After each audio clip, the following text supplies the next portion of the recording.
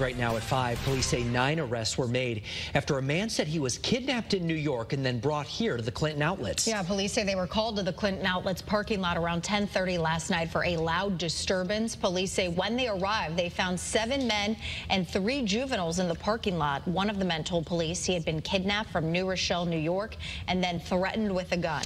Now, police say they used a canine to find evidence and also found a firearm, baseball bat, pepper spray, and ski masks there at the scene.